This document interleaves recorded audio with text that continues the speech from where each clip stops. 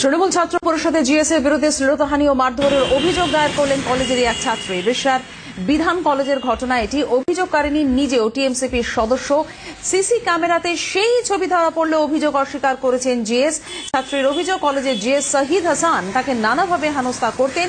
গত চৌঠা জানুয়ারি তাকে চর এবং টেবিলের কাঁচ তুলে মারার চেষ্টা করেন শহীদ হাসান এবং এরপরই জিএস এর বিরুদ্ধে অভিযোগ জানান সেই ছাত্রী। যদিও অভিযোগ মানতে নারাজ জিএস শহীদ হাসান খান। অভিযোগ পেলে ব্যবস্থা নেবেন বলে জানিয়েছেন কলেজ কর্তৃপক্ষ।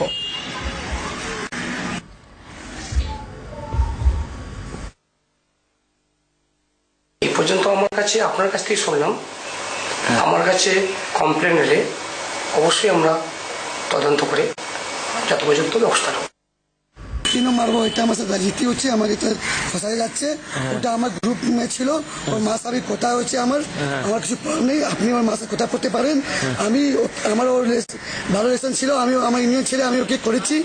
আমি কেন তুই মার বিধান সরকার আমাদের প্রতিনিধি রয়েছেন আমার সঙ্গে এই মুহূর্তে। বিধান সিসি ক্যামেরাতে সবটা ধরা পড়েছে তারপরেও পুলিশে অভিযোগ দায়ের করেছে ছাত্রী তারপরও এখনও কেন? কোনো ব্যবস্থা নেওয়া হলো না? দেখো সঞ্জিতা, এটাই কিন্তু বড় প্রশ্ন, কারণ ছাত্রী যেমনটা অভিযোগ করছে যে তার সঙ্গে একই সঙ্গে ছাত্র তৃণমূল ছাত্র পরিষদের ছাত্র সংগঠন করে এই কলেজেরই জিএস, বিধান কলেজের জিএস শাহিদ হাসান খান তার সঙ্গে যে ধরনের আচরণ করেছে এবং একবার নয়, একাধিকবার তার সঙ্গে ধরনের ঘটনা ঘটানো হয়েছে এবং সেই ছবি সিসি ক্যামেরা ধরাও পড়েছে। এরপরে ওই ছাত্রী যখন বারণ করে জিএস কে জিএস কিন্তু তাকে হুমকি দেয়। যে তার কেউ কিছু করতে পারবে না কারণ সে কলেজের জিএস এবং কলেজ তার কথাতেই চলে। তার তারপরেও কিন্তু এই ভয় দূর করে ছাত্রী কিন্তু এসিপি শ্রীরামপুরে যিনি আছেন দায়িত্ব তাকে লিখিত অভিযোগ দায়ের করেন।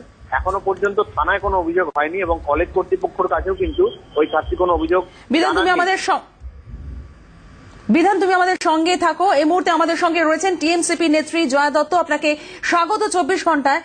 জয়দি, কলেজ ক্যাম্পাসে শ্লীলতাহানি মারধর সিসি ক্যামেরাতে সেই ছবি ধরা পড়েছে। আমরা সেই ছবি দেখাচ্ছি। শিক্ষাঙ্গনে এ ধরনের ঘটনা ঘটছে। কি ব্যবস্থা নেবেন? দেখুন, প্রথমত এই বিষয় নিয়ে। আর আমি খবর যতটা খবর নিয়ে দেখেছি, ঘটনাটা চৌঠা ডিসেম্বরের ঘটনা। তার পরবর্তীকালে তারা রিক্সা কলেজ হুগলি জেলায় করা হয়নি।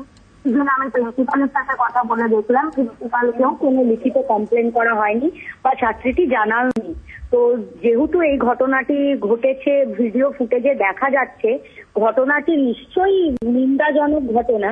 আমরা এই বিষয়টায় আমাদের কাছে জানালে নিশ্চয়ই আমরা উপযুক্ত তদন্ত করে ব্যবস্থা নেব। কারণ যেই ফুটেজে যেভাবে দেখা যাচ্ছে, সেই বিষয়টি ঘটনা, আমরা ব্যাপারটা, ব্যাপারে যথাযথ ব্যবস্থা গ্রহণ করব। কারণ শিক্ষাঙ্গনে এরকম পরিবেশ আমরা কখনোই কামনা করি না। জয়দি আপনি যেটা বলছেন যে হ্যাঁ সিসিটিভি ক্যামেরাতে তো সেটা দেখা যাচ্ছে। পুলিশে অভিযোগ দায়ের করেছে ছাত্রীটি। এখনও অধ্যক্ষের কাছে কোনো অভিযোগ দেয়নি বা আপনাদের কাছেও কোনো অভিযোগ জমা পড়েনি। কিন্তু আপনারা তো দেখতে পাচ্ছেন একদম সরাসরি দেখতে পাচ্ছেন। সেক্ষেত্রে কি কোনোভাবে ব্যবস্থা নেবেন এই জিএস এর বিরুদ্ধে? অব- অব- অব- অবশ্যই। সে আমাদের কাছে প্রশাসনকে যখন জানিয়েছে প্রশাসনের সাথেও কথা বলব এবং প্রশাসন যাতে যথাযথভাবে ব্যবস্থা করে, প্রশাসন যদি আপনার কথা স্পষ্ট শোনা যাচ্ছে না একটু আরেকবার একটু আরেকবার একটু আমাদের বলবেন প্রশাসনের কাছে যখন অভিযোগ দায়ের করেছে প্রশাসন নিশ্চয়ই আইনানুগ ব্যবস্থা গ্রহণ করবেন এবং আমরাও প্রশাসনের সাথে কথা বলব।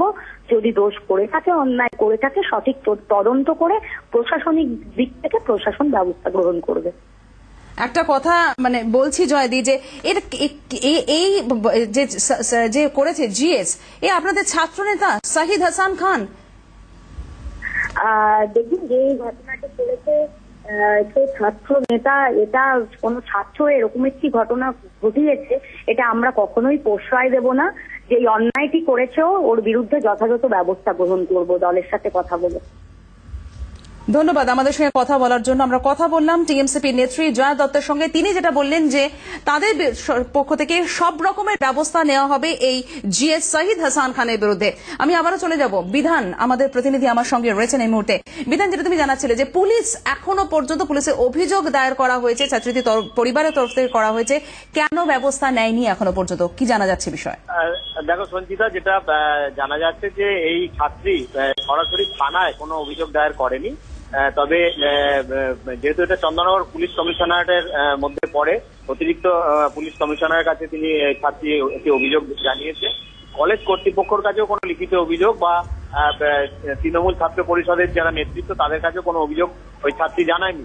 তবে ছাত্রীর যেটা বক্তব্য যে ওই জিএস, যে সাইদ হাসান খান তার বাবা রিষ্টা পুরসভার ভাইস চেয়ারম্যান জাহিদ খান, তিনি প্রভাবশালী লোক এবং সেই প্রভাবকে খাটিয়েই এই জিএস সাইদ হাসান খান কিন্তু কলেজে রাজ করছে এবং তার বিরুদ্ধে কেউ কিছু বলতে গেলেই তার সে কিন্তু তাকে নানাভাবে হুমকি দেয়, এভাবে হেনস্থা করে। যে কারণে এতদিন কিন্তু ওই ছাত্রী চুপ ছিল, তবে এইবার সে কিন্তু তার সঙ্গে যেটা ঘটেছে তার একটা বিচার চাইছে ওই ছাত্রী। সঞ্চিতা?